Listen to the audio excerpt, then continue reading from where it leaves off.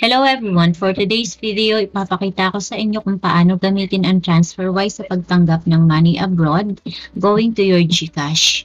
Aside from PayPal, Payoneer, we have TransferWise na real-time to receive your money. Very within the day, matatanggap mo na yung pera mo and converted na siya into peso.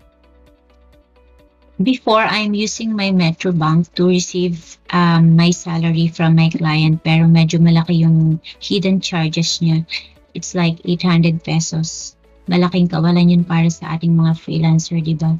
So, I just decided na i-try yung TransferWise and pumayag naman yung aking client.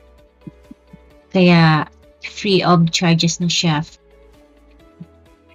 Aside from receiving uh, money, pwede mo rin gamitin yung TransferWise. Let's say nasa ibang bansa ka and gusto mo magpadala sa pamilya mo.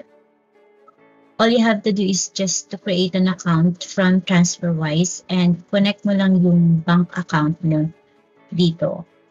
And you can do the same. Pwede ka magpadala through uh, bank account ng family mo or pwede nilang tanggapin via GCash. Okay? So, I just wanted to show you kung paano mag-create ng account. We'll do it very quickly lang. Just to give you an idea. receive ng salary. Kaya pinili ko yung personal.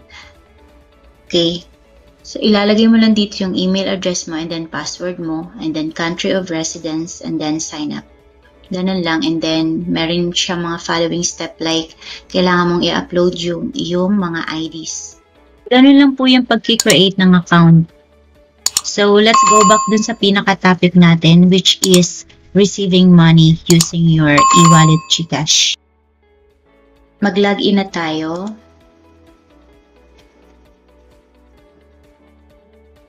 And then, lagay natin yung email address and the password. Lipat muna natin to. Lagay natin yung password.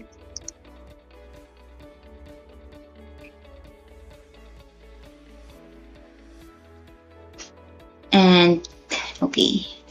Let's wait for my security code.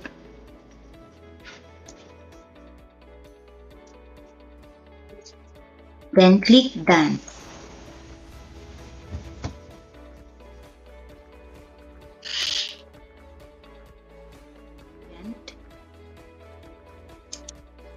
Once you're here, just click Recipients.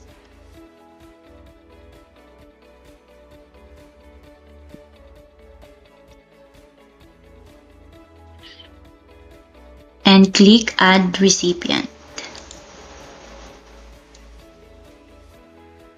And then dito, piliin natin yung Philippines currency.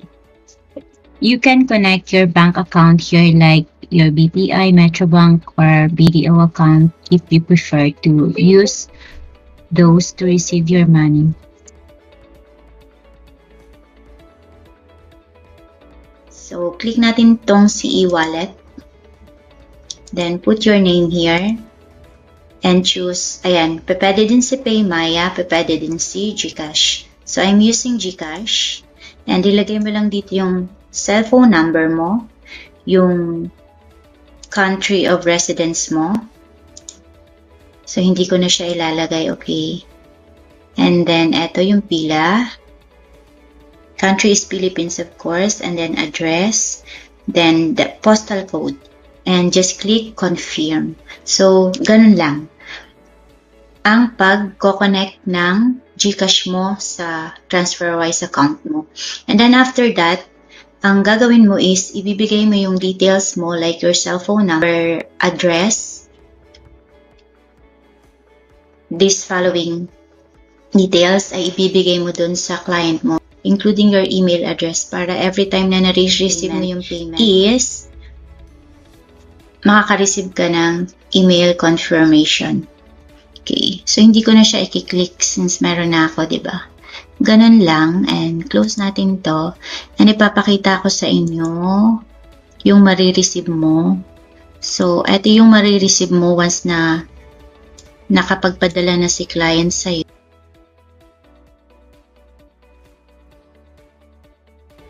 So, ito yung na-receive ko. Ayan. You should have the money in your account ending in by today, January 1. Okay? Ayan. And then, sa cellphone, na-delete ko na kasi yung mga previous um, messages ko from TransferWise. So, makaka-receive din kayo ng confirmation you receive an amount like this from BPI. Parang si BPI ata ang partner ni Gcash. So, if you found this video helpful, please don't forget to hit like, subscribe, and click the notification bell. Goodbye everyone.